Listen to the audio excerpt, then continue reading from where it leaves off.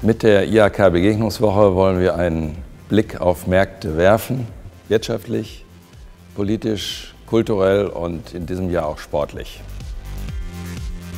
Der Blick auf Brasilien dürfte dabei besonders interessant werden, weil für viele Unternehmen Brasilien nach wie vor ein unbekannter Markt ist.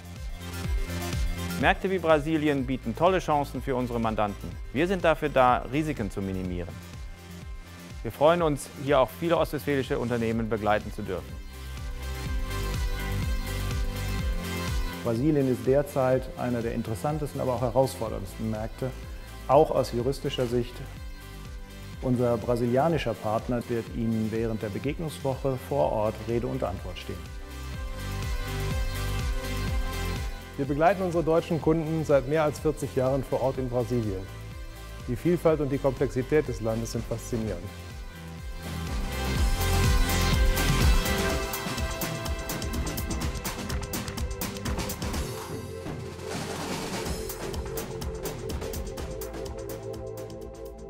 Böllhoff ist seit 50 Jahren in Brasilien im Geschäft.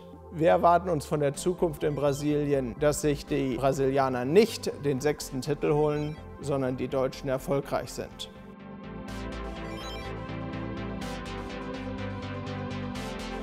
Hallo, Frau Köbbe, nehmen Sie Platz.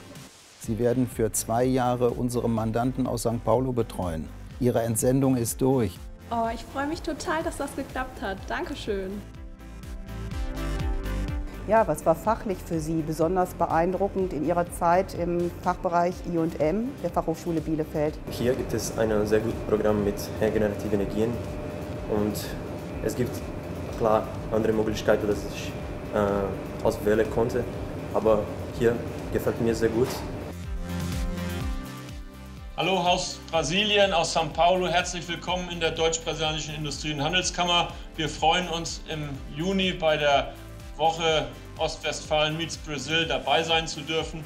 Wir möchten alle ostwestfälischen Unternehmen, speziell die Mittelständler, einladen, sich an diesem interessanten Markt zu beteiligen. Ich kann Ihnen versprechen, mittel- und langfristig werden Sie hier viel Freude haben.